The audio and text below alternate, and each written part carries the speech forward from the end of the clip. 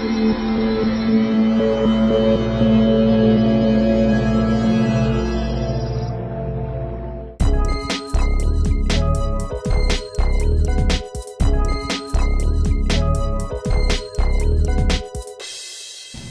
And welcome to Legal Update Live for August of 2013.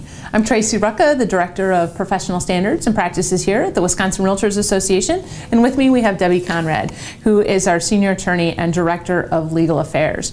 So, August, it's the month for the legislative update. Uh, the legislature has been active, and this legal update summarizes some of those legislative changes that deal with real estate practice. Uh, Deb, do you want to tell us a bit about some of those relevant topics for our members? Sure, Tracy.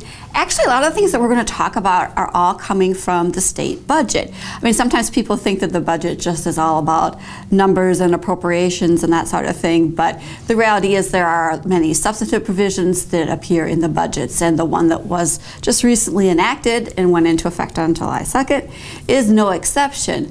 For instance, the budget contains a new law that says that local municipalities can't enact ordinances or continue to enforce any ordinances that are out there that regulate real estate brokers or brokerage practice.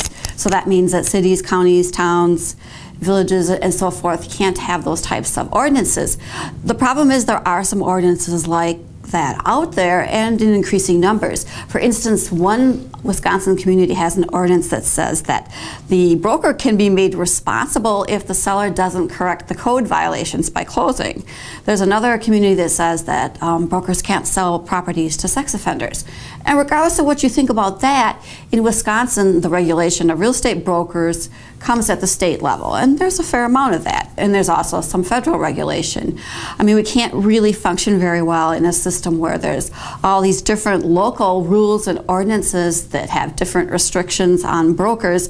Um, that is, is, a logistic nightmare to try to keep track of. I'm in this town, so there, these are the rules, and I'm in this community, so these are the ordinances in effect, and that's a, a very burdensome and costly thing to try to do. And at the end of the day, that would make properties more expensive. So it's a good thing that the budget contains this new statute, putting an end to this practice. Another example is you may recall a few years back the um, recording fee at the Register of Deeds, deeds was $25. They added a $5 increase so that the Register of Deeds could redact or black out the Social Security numbers in the public documents that appeared online. Um, that process seems for the most part to have been completed, but what the budget bill does, it takes that $5 that was for redaction and redirects it and with the goal of having a uniform system of having online land information from all 72 counties. So this would mean you could get information for the address, the zoning, the acreage, the property tax assessment information, and have a uniform format for that to appear and you could search it and access it online. So for that project, the target goal is June 30th, 2017. So that's just an example of some of the provisions in the state budget bill. Tracy, mm -hmm. what did you want to comment on? Well, um, mine is the budget bill strikes again, I guess. Uh, we know WHEDA um, and their homeownership programs for mortgages and financing.